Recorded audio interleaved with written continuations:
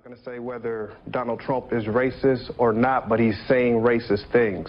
So when he says things like, let's make America white again, that sounds like a racist statement. And as a When did he know, say that? He didn't me, say as that. a black man, I He can't didn't support say He didn't say, "Let's make America "Let's make again"? America white again. No. No, he didn't. He did not I've never that. heard that statement, Megan. No, I've never heard that either. That sounds like maybe something a, a supporter or somebody on Twitter. But Donald Trump has never said that. That would have been big news.